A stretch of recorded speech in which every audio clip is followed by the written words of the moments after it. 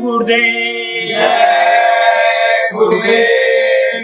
बचो और बचाओ। शाकाहार अपनाओ। जान बचाओ।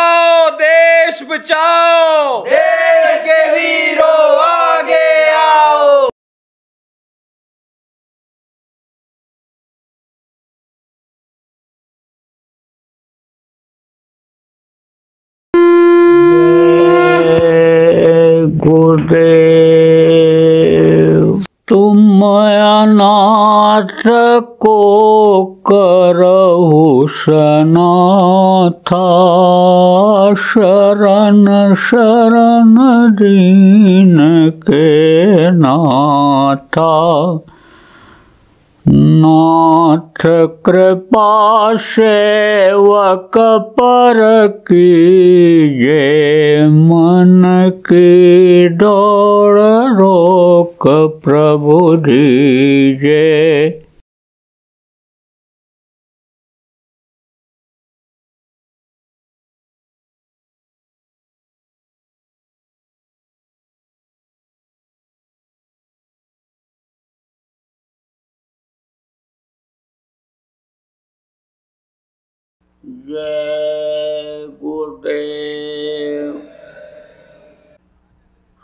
सर्वसमर्थ सर्वत्र स्मरणीय परम पूज्य गुरु जी महाराज। उपस्थित सभी सत्संगी धर्म प्रेमी बच्चे तथा बच्चियों, गुरु महाराज की अपार दया मेहर हुई। 28 अक्टूबर 2017 को सुरेंद्र नगर के आप सभी प्रेमियों का सत्संग के माध्यम से दर्शन का अवसर मिला। आप लोगों के ऊपर भी उस मालिक की कृपा मेहरबानी हुई कि आप लोग अपने अपने गृहस्थी से ग्रह के घर के जंजाल से समय निकाल पाए और यहाँ पर सत्संग सुनने के लिए आए। पहले के समय में बराबर ग्रह सत्संगों में जाया करता था और जब सत्संग मिलता था तो आज की तरह से परेशानी नहीं थी। कथा भागवत, प्रवचन, ये तो अलग चीज़ है और सत्संग अलग होता है। सत्संग में लोक और परलोक दोनों बनने की बात बताई जाती है। कथा प्रवचन तो पुराने इतिहास को दोहराया जाता है। महापुरुषों के बारे में बताया जाता है। और उनके अनुसार चलने के लिए लोगों को प्रेरणा दी जाती है। लेकिन उसका अनुकरण लोग कम करते हैं। कर नहीं पाते सत्संग जब मिलता है, तब उस बात को जब पकड़ लेते हैं, उनको समझा करके पकड़ा दिया जाता है तो सुकून और शांति मिल जाती है। धन दौलत पुत्र परिवार मान प्रतिष्ठा वैभव सब कुछ होते हुए आदमी को शांति नहीं मिल पा रही कारण क्या है? कारण यह कि सत्य रूपी धर्म को छोड़ दिया। अहिंसा रूपी धर्म को लोगों ने छोड़ दिया। परोपकार जो एक दूसरे की मदद करने की भावना थी खत्म हो गई। सेवा भाव खत्म हो गया। जो मानव धर्म था उससे अलग हो गए किसी भी न किसी में धर्म में नहीं लिखा कि झूठ बोलो किसी में ये नहीं लिखा कि हिंसा हत्या करो किसी में ये नहीं लिखा कि खिदमत न करो इमदाद न करो सब में ये चीज़ लिखी हुई लेकिन उस चीज़ को लोगों ने छोड़ दिया झूठे लेना झूठे देना झूठे भोजन झूठ लेना हर बात पर और झूठ पे झूठ बोलते चले जा रहे हैं। अब आप इस बात को समझो कि जब सत्य का बोलबाला था, चला जाए, प्राण निकल जाए, लेकिन जो वचन दे दिया उसको निभाना है। हिंसा हत्या लोग नहीं करते थे। हर जीव पर रहम करते थे। आप बिस्मिल्लाह रहमान रहीम। यानी वो मालिक रहमान है। कहे मुसलम ईमान रहमान मुसलमान। जिसके अंदर मुसलम ईमान हो, जिसके अंदर मुसलम रहम हो, वो मुसलमान होता है। कहा दया धर्म तन बसे शरीरा ताकर रक्षा कर दया धर्म। तो दया भाव बहुत था लोगों के अंदर में। अब आगे समझो कि दया भाव देखने को नहीं मिला। जानवरों को तो मार काट रहे ही लेकिन इस मानव मंदिर को भी लोग ढहा दे रहे जो पूजा इबादत के लिए उस मालिक ने बख्शा, इसी को गिरा दे रहे हैं लोग। मार दे रहे, काट दे रहे। देखो, अभी इस वक्त पर आपको कहीं जाना हो तो कहोगे, भाई, जेब में रुपया पैसा रख लो, तब निकलो। नहीं तो पता नहीं कहाँ रुकना पड़ जाए। कहाँ खाएँगे, कहाँ रहेंगे। पहले ऐसा नहीं था। कोई किसी के दरवाजे पर पहुँच जाता तो वो खुश हो जाता था कि मेहमान नहीं, भगवान आ गए। और अतिथि देवो भो जो कहा गया, अतिथि की मेहमान के तरह से, भगवान की तरह से सेवा करता था। खाने की और रहने की किसी को चिंता, फ़िक्र रहती नहीं थी। बुज़ुर्ग लोग होते थे घर के तो उस वक्त पर ये ट्रेन, बस का साधन इतना नहीं था। पैदल लोग चलते थे तो रोटी बना करके और डलिया में रख के, मटके में पानी लेकर के जाते। जिधर से लोगों का आना जाना रहता था, वहाँ बैठ जाते और लोगों को बुला बुला करके रोटी खिलाते, पानी पिलाते थे। सेवा भाव बहुत था। उस वक्त पर दिल दिमाग लोगों का सही रहता था, क्योंकि खान पान सही था। शाकाहारी लोग ज़्यादा होते थे। इक्का दुक्का कहीं मांसाहारी होते थे, बाकी शाकाहारी होते थे। तो जब शाकाहारी होते थे तो दिल दिमाग बुद्धि सही रहती थी। क्योंकि यह खून जो इंसान के अंदर है, वो बेमेल नहीं होता था। बेमेल का मतलब क्या होता है? मनुष्य शरीर ये बनाया गया किसके लिए? अनाज खाने के लिए फल फूल खाने के लिए। कुदरत ने, प्रकृति ने मनुष्य के लिए ये चीज़ें बनाई। और उससे जो खून बनता है, उससे शरीर का सिस्टम सही ढंग से चलता है। और जानवरों का जब मांस खा लेता है और उससे जो खून बनता है तो वो खून तालमेल नहीं खाता। तो तरह तरह की बीमारियाँ आ जाती बुद्धि खराब हो जाती है। खून से ही तो बुद्धि खराब होती है। कहते हैं ना, खून का दौरा तेज हो गया। ब्लड प्रेशर बढ़ गया। तो दिमाग इनका काम नहीं कर रहा है। बुद्धि काम नहीं कर रही है। तो अब आप इस बात को समझो कि खून बेमेल हो गया। बीमारियाँ बढ़ गई, बुद्धि खराब हो गई। अब आज जो मूल मंत्र है मनुष्य का, मेहनत और ईमानदारी की कमाई, वो करना बंद कर दिया। मेहनत और ईमानदारी की कमाई जब करता है तो उसमें बरकत होती है, शांति मिलती है। देखो, एक समय ऐसा था कि जब एक कमाता था और दस खाते थे, अब दस कमा रहे तो भी नहीं पूरा पड़ रहा है। हाय हत्या लगी हुई है। पूरा परिवार कमाने में लगा हुआ है। न अन्य समय लोग खाने का सुख ठीक से मिल रहा और न परिवार का रहने का एक दूसरे से प्रेम का सुख मिल रहा है। मशीन की तरह से आदमी दिन रात चलता दौड़ता रहता है। तो उसका क्या कारण है कि जो बरकत थी वो चीज़ खत्म हो गई। हविश बहुत बढ़ गई, लालच बहुत बढ़ गया। उस मालिक पर से लोगों ने विश्वास खत्म कर दिया। कि जो पैदा होने के पहले माँ के अस्तन में दूध भर देता है, उस पर अगर विश्वास हो जाए तो उसी के सारे बंदे हैं।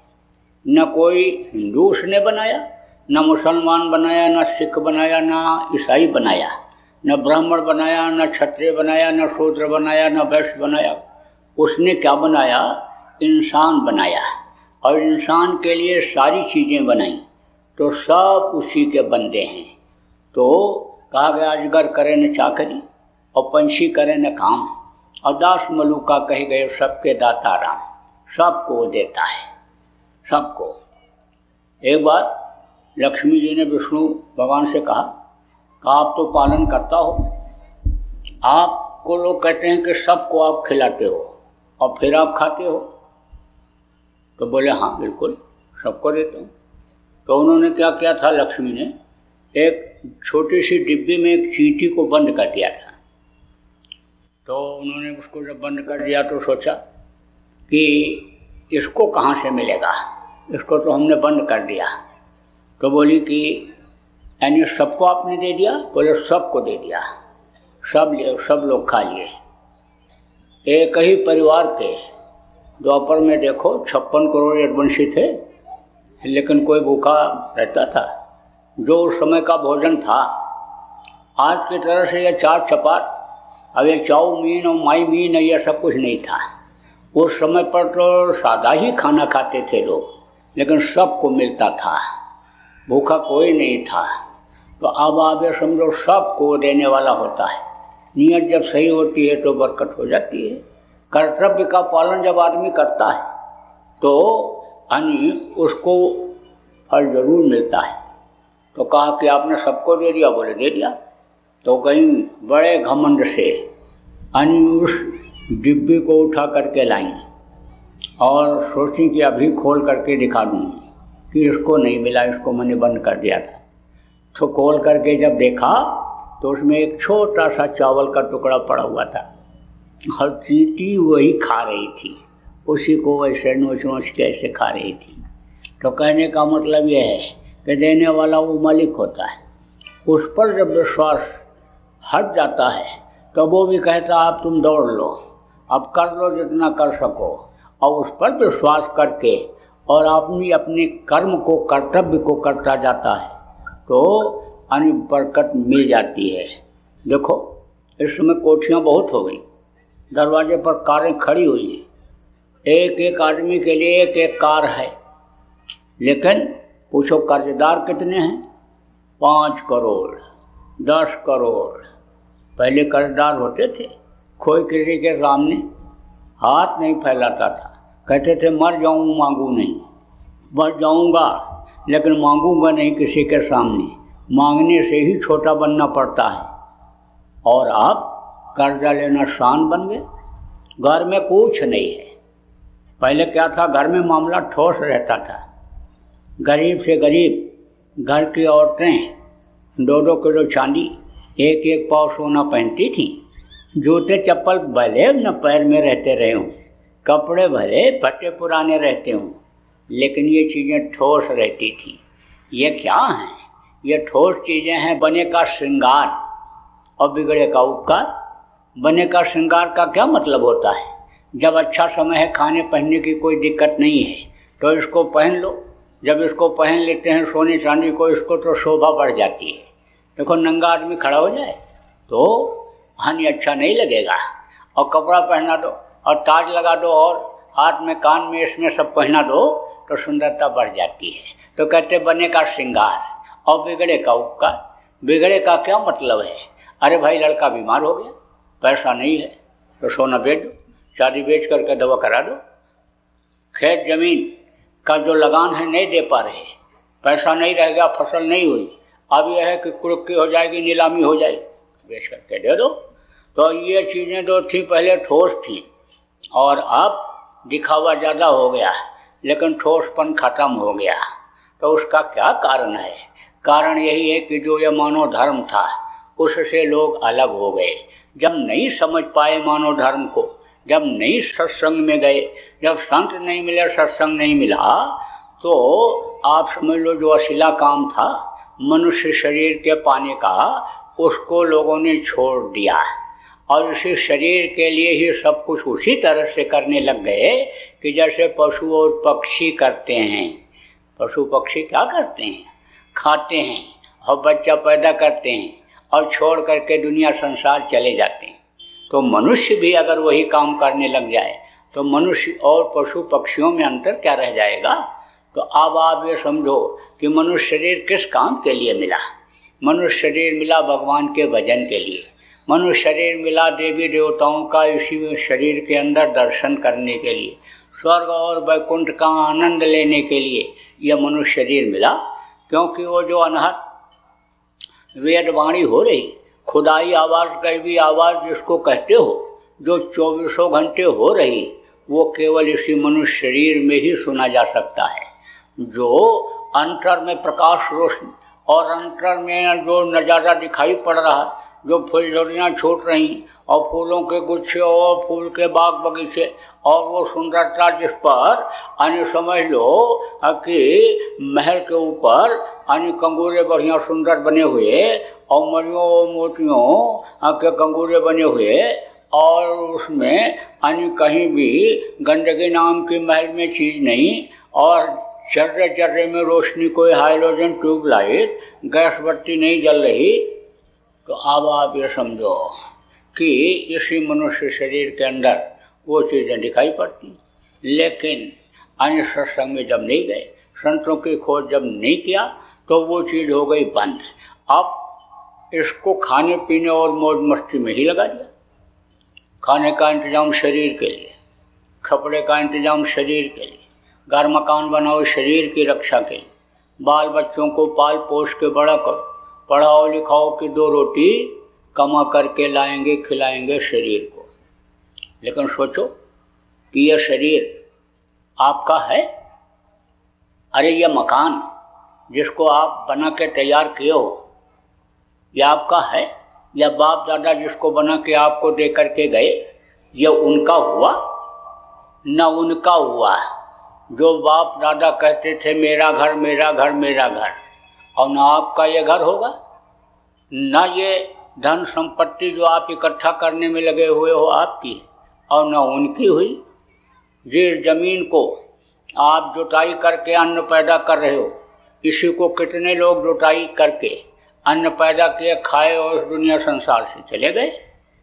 इस चीज़ को क्यों नहीं सोच रहे हो कि भाई, जब वो चले गए तो हमको भी जाना पड़ेगा। देखो, एक से एक बलवान, धनवान, मान प्रतिष्ठा वाले लोग आए सब चले गए। राजा महाराजा शेर साहूकार, पंडित मुल्ला पुजारी वैज्ञानिक जोशी, देखो एक से एक आए, एक से एक राजा महाराजा आए, एक से एक देखो अन्य औतारिक शक्तियाँ और संत महात्मा भी आए। राम जैसे भगवान आए, कृष्ण जैसे भगवान आए, कबीर, गोस्वामी, पलटू, नानक जैसे संत आए, इसी मनुष्य शरीर में आए। लेकिन उनको भी छोड़ करके जाना पड़ा, सब कुछ छोड़ के जाना पड़ा। चाहे झोपड़ी में रहे तो झोपड़ी छोड़ के जाना पड़ा। और जहाँ भी रहे, जो जगह रहे, उसको छोड़ के जाना पड़ा। या शरीर भी छोड़ के जाना पड़ा शरीर या ये वहाँ कहीं जाता है ऊपर, ये स्वर्ग और वैकुंठ में शरीर नहीं जाता है। और ना ये गंदगी जाती है। गंदगी ये जो कर्म इकट्ठा करते हैं, वो जाती है। अच्छा बुरा समझ लो, सब छूटता है। यहीं पर, जब ये जीव आत्मा अपने घर, अपने वतन, अपने मालिक के पास पहुँचती है अच्छाई और बुराई का अन्य समझ लो कि फल तो मिल जाता है। बुरा कर्म जब करते हैं तो नरकों में जाना पड़ता है। काटे जाते हैं, सड़ाए जाते हैं, गलाए जाते हैं, तपाए जाते हैं। यानी सजा मिलती है। जो इस चीज़ को नहीं समझ पाते कि भजन के लिए, पूजन के लिए शरीर मिला, इस चीज़ को यह नहीं समझ पाते कि इस शरीर के लिए देवता तरसते हैं, नर समान नहीं कौनो नहीं जीव चराचर जाचते ही, जितने भी चर और अचर के जीव हैं, सब इस मनुष्य शरीर को मांगते रहते हैं, क्योंकि वो सत्रह तत्वों के लिंग शरीर में देवता होते हैं। उनके अंदर ऐसा रास्ता नहीं है कि स्वर्ग और वैकुंठ के ऊपर जो ब्रह्म पार ब्रह्मकाल, महाकाल लोग हैं, उनमें जा सकें। तो जिस शरीर को देवता मांगते रहते, चर अचर के लोग मांगते रहते हैं तो यह शरीर हमको किस लिए मिला? इसका उद्देश्य जो नहीं समझ पाते हैं, उनको कहा अंत दुखदाई आखिरी वक्त में बड़ी तकलीफ़ होती। उनके जो जीवात्मा है यह यानी यमराज के दूत निकालते हैं। जो संत होते हैं, जब उनकी इच्छा होती है, अपने प्राण को निकाल ले जाते हैं, शरीर को यहीं छोड़ देते हैं। और जो साधक सिद्ध होते हैं, उनके प्राण सुषमना फोड़ के निकलते हैं। पिंगला पिंगला सुषमना ये तीन नाड़ियाँ ये शरीर को चलाती हैं और ये चक्र चलाते हैं। गुदा चक्र, ये जो टट्टी की जगह है, वहाँ चक्र चलता है शारदल कमल का है। गणेश जी का वहाँ स्थान बताया गया। उसके ऊपर इंद्र चक्र, यानी ब्रह्मा और सावित्री का स्थान बताया गया। उसके ऊपर अन्य समय लो नाभि चक्र, यहाँ पर विष्णु और लक्ष्मी का स्थान बताया गया। और हृदय चक्र शिव और पार्वती का स्थान बताया गया। और कंठ चक्र आद्या महाशक्ति, जो ब्रह्मा, विष्णु, महेश की माँ है, उनका स्थान बताया गया। तो ये चक्र इस शरीर को चलाती। अविंगला पिंगला सुषमना यति नाड़ियाँ चलाती। तो सुषमना फोड़ करके अपने प्राणों को साधक सिद्ध होते हैं निकाल लेते हैं। जब समय पूरा होता है, समय सबका निश्चित है। सांसों की पूंजी सबको एक जैसी मिली है खर्च करने के लिए। अब इसको जो जैसा खर्चा करता है बैठे बारह चले अठारह, सोवे से छत्तीस, रट क्रिया से दूनी हो गई, कह गए कब जगदीश। बैठने में कम खर्चा होता है, सोने में ज़्यादा होता है। चलने में ज़्यादा होता है, सोने में उससे भी ज़्यादा होता है। और भोग में बिताने से सबसे ज़्यादा खर्चा होता है। तो खर्चा सबका होता है। जैसे खर्चा होगा, तैसे ये शरीर छोड़ देना पड़ेगा। अब जो साधक सिद्ध होते हैं, प्राण उनके सुषमना फोड़ कर निकाल लेते हैं। और जो धर्मनिष्ठ होते हैं, धार्मिक लोग होते हैं, उनके प्राण कान से, मुँह से, आँख से निकलते हैं। और जो पापी कुकर्मी जीव होते हैं, उनके प्राण निकलते नहीं, निकाले जाते हैं। यमराज के भयंकर दूत आते हैं, हथौड़ी मुगडर मशाल ले करके और वो मार मार करके, कूट कूट करके, टट्टी और पेशाब के रास्ते से निकालते हैं। देखो, बहुत से लोगों का टट्टी पेशाब हो जाता है, छटपट छटपट करता है। जब मार पड़ती है तो भक्ता है इधर? उधर हाँ भक्ति है ये जीव आत्मा इधर प्राण, इधर, उधर, इधर डोलते हैं तो छटपटाहट होती और हड्डी चटकती है, उनको देखते ही खून पानी हो जाता है तो ताकत खत्म हो जाती है तो समझ लो कि उस समय बहुत दर्द होता है, खून जब खत्म हो जाता है, ताकत नहीं रह जाती है, आदमी के अंदर तो कहते हैं, खून चढ़ाओ, ऐसे ही खून पानी हो जाता देखते ही तो ताकत खत्म हो जाती है और रोता है, लेकिन ठीक से रो नहीं पाता, जबान टुटली हो जाती है। उस समय पर ऐसे सब लोग खड़े रहते हैं। जितने भी रिश्तेदार हैं, परिवार के लोग हैं, सब खड़े रहते हैं। अच्छे अच्छे डॉक्टर, पंडित, मुल्ला, पुजारी सब खड़े रहते कोई बचा सकता है? कोई नहीं बचा पाता। तो वो यमराज के दूत इसको खाली करा देते और खाली करा करके पिशाच का शरीर, मनुष्य शरीर जैसा ही होता है। उसमें बंद करके छियासी हज़ार योजन ऊपर में यमपुरी है। वहाँ पर ले जाते हैं और यमराज के सामने पेश कर देते हैं। यमराज सजा बोल देता है, कर्मों के अनुसार। आज आप बहुत से लोग ये सोचते हो कि भाई, जो भी काम हम करते हैं, उसको क्या कोई देख रहा होता है, जो चुपके से करते हैं? आप तो कहते हो, आँख बचा करके कर लो। लेकिन आप समझ लो, जिसको आप नहीं देख पा रहे हो वो आपके सारी गतिविधियों को देखता रहता है। और सारी गतिविधियाँ ये सब नोट होती जाती हैं। टेप जैसे हो जाता है। अब जैसे यहाँ पर हमारी आवाज़ ये टेप हो रही है। ये जो कैमरा लगा हुआ है। अगर मैं ये कहूँ कि मैंने ये नहीं कहा था तो अब ये टेप हो रहा है तो ये दिखा देंगे कि देखो नहीं, आपने कहा था। ऐसे ही जब वो कहता है कि मनुष्य तो तुमको मिला था भजन के लिए और तुमने उससे पाप क्यों किया? पैर तो अच्छे काम के लिए जाने के लिए मिला था। बुरे काम के लिए क्यों गए? हाथ से बुरा क्यों किया? आँख से बुरा क्यों देखा? कान से बुरा क्यों सुना? मुँह से बुरा क्यों बोले? तो अगर कहोगे कि हमने नहीं किया, अगर ये कहोगे हमको किसी ने समझाया नहीं, बताया नहीं नहीं तो हम गलती न करते, छोड़ दिए होते, सुधर गए होते तो ऐसे ही दिखा देगा वो। ऐसे फ़ोटो लगा हुआ रहेगा, मंच बना रहेगा। और इसी आवाज़ में सुनवा देगा। तो जब सामने आ जाएगा, तब आप इनकार कर पाओगे। तो आवाज़ समझ लो कि पूरा उसके पास सब रिकॉर्ड होता है, पैदा होने से लेकर के, और समझ लो मरने तक टाइम तक का, पूरा रिकॉर्ड स्मृत लोग का उसके पास रहता है। और उसी के आधार पर वो सजा बोलता है। कर्मों के अनुसार, कर्मों का जब से विधान बना, तब से जीव फंसने लग गया। नहीं तो सतयुग में कर्म का विधान नहीं था। जब इस सृष्टि की रचना हुई, चार लाख केवल मनुष्य बनाए गए थे उस समय पर, और तीस लाख अस्थावर। या अस्थावर किसको कहते हैं? पेड़ और पौधे को। और सत्ताईस लाख उखमज। उखमज किसको कहते हैं? मनुष्य के पसीने से जो पैदा होते। नौ लाख जल के जीव। और जो है, आपके यानी चार लाख। ये समझ लो जब मनुष्य। और जो है आपके अंडज ये अंडज से जिनकी उत्पत्ति होती, शुरू में इसी तरह से इतना हुई थी तो उस समय पर सबकी दिव्य दृष्टि खुली हुई थी।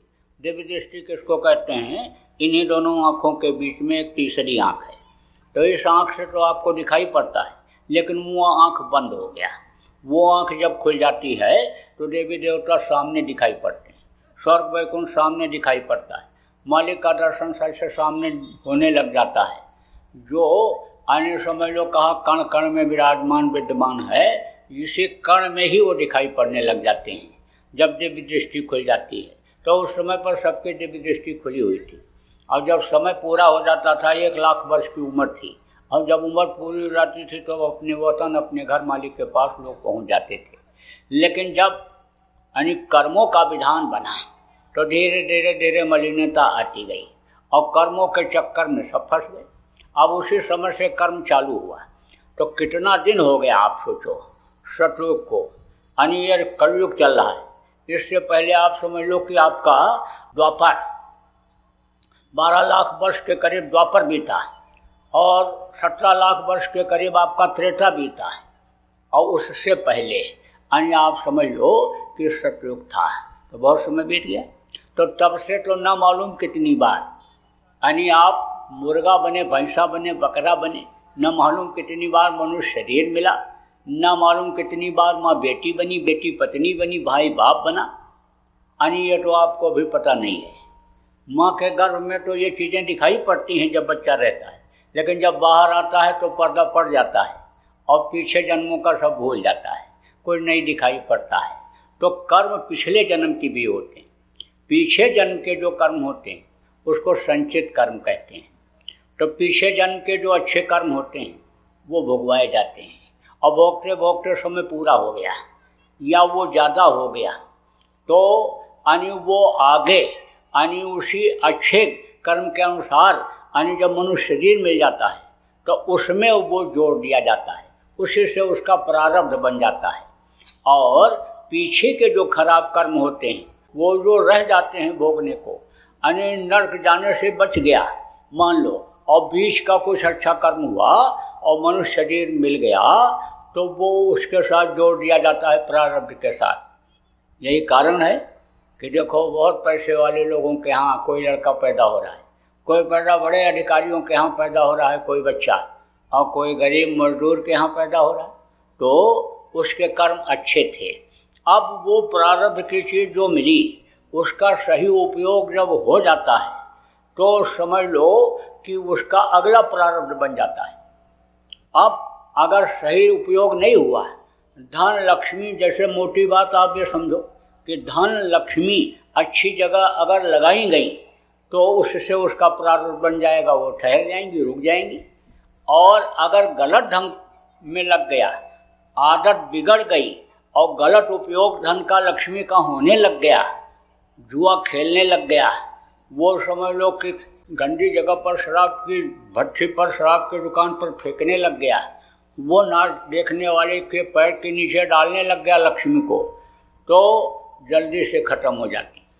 जब तक यानी वो प्रारब्ध का अच्छा कर्म रहता है, तब तक तो भोगता है और जैसे वो खत्म हो जाता है, बस फिर उसी हालत में आ जाता है कंगाली की हालत। और फिर उसके लिए चोरी चकारी आदत के अनुसार करने लगता, गलत काम करने लगता है और फिर उसकी सज़ा मिल जाती है, नरकों में चला जाता है।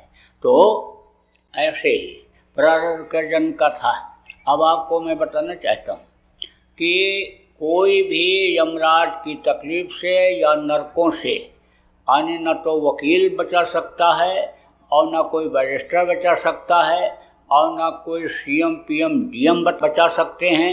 न कोई बिरादरी का मुखिया पंच प्रधान बचा सकता है, उससे कोई नहीं बचा सकता है। बचा कौन सकता है? संत बचा सकते हैं। संतों को पावर होता है, शक्ति होती है। संत बचाते हैं। अब आपको बता दूँ कैसे? प्रारब्ध अच्छा था, पहले का। पूरा नहीं भोग पाया था तब तक। यानी शरीर बुढ़ा हो गया, छूट गया। सांस की पूंजी खत्म हो गई तो इधर जोड़ दिया। मनुष्य शरीर मिल गया। किसके घर में जन्म हुआ? सेठ के यहाँ। अब सेठ के यहाँ जब जन्म हुआ तो लालच बढ़ी। लालच बढ़ी तो क्या करने लगा सेठ? ब्याज का धंधा। जब लालच ज़्यादा बढ़ती है, तब आदमी दिमाग से कमाना चाहता है। मेहनत कम करके कमाना चाहता है। मेहनत को भूल करके और दाम बढ़ाने के चक्कर में, रुपया पैसा बढ़ाने के चक्कर में लग जाता तो ब्याज पर रुपया देने लग गया, क्योंकि बैठे बैठे ब्याज आ जाता था। तो जो लालची ज़्यादा हो जाते हैं ब्याज वाले तो ज़्यादातर निर्दयी हो जाते हैं दया भाव उनमें नहीं रहता है। हालत कैसी भी हो, लेकिन उनको मिलना चाहिए। इसीलिए तो कहा, चोरी जुआ मस्खरी ब्याज घूस पर नाज। और जो चाहे दीदार को या याते वस्त्र निवार अगर उस मालिक का दर्शन कोई करना चाहता है, मालिक से मिलना चाहता है तो चोरी से दूर रहे, जुआ से दूर रहे। और मस्खरी मस्खरी जानते हो? मज़ाक। कुछ लोगों की आदत होती है, सबसे मज़ाक करते रहते हैं, सबसे। तो उससे क्या होता है? दिल दुखता है, तकलीफ़ होती है। तो कहना, ये तो दिल खास खुदा का है। यह मालिक का बनाया हुआ दिल इसको मत दुखाओ। यानी किसी के दिल को मत दुखाओ, तकलीफ़ मत दो। दिल दुखा करके पैसा मत लाओ, नहीं तो नहीं फलेगा। ज़बरदस्ती ले लेते ना। इतना दो तब काम करेंगे। इतना दो तभी अब ज़रूरत पड़ी है। उसको किसी सामान की ज़रूरत है, नहीं है तो अब इतने का मिलेगा। कहा ना कि हल्दी क्या भाव है? तो पहले के समय में जब चोट लग जाती थी, मार पड़ जाती थी तो हल्दी बांधते थे। तो उसने कहा, हल्दी तो चोट के हिसाब से, हल्दी का भाव है। जैसा चोट दर्द करे, उसी हिसाब से उसका भाव। तो लोग ले लेते, दिल दुखा कर तो कहा, चोरी जुआ मस्खरी ब्याज ब्याज का पैसा यानी परमार्थी को नहीं लेना चाहिए। ब्याज, घूस, ये रिश्वत दिल दुखा के लेते हैं ना, कोई अगर खुशी खुशी दे दे कि आपने हमारा काम कर दिया। ये आपके बच्चों के लिए, पान फूल के लिए है। तो वो तो तकलीफ़ दे नहीं होता है। उसने खुशी खुशी दे दिया। लेकिन जो फिक्स कर देते हैं, इतना दोगे तभी काम होगा। तो वो दिल दिल दुखा करके देना हो। घूस और परना है दूसरे किनारे से बचना चाहिए। का जो चाहे दीदार को। जो दर्शन करना चाहता उस मालिक का। इससे अनि बचे। जय गुरुदेव। सरकारी व गैर सरकारी अनुदान के लिए बिना सत्संगियों के सहयोग द्वारा जनहित के कार्यों में लगी हुई बाबा जय गुरुदेव धर्म विकास संस्था का मुख्यालय पिंगलेश्वर रेलवे स्टेशन के सामने मक्सी रोड, उज्जैन, मध्य प्रदेश में है। यहाँ पर सत्संग व नामदान का कार्यक्रम होता रहता है। अतः आप श्रोताओं से अनुरोध है कि बाबा उमाकांत जी महाराज के आश्रम उज्जैन, एक बार परिवार सहित ज़रूर पधारिएगा। आपके सुझाव के लिए WhatsApp number nine five seven five six zero zero seven zero zero. जय गुरुदेव जय गुरुदेव। जय गुरुदेव जय गुरुदेव।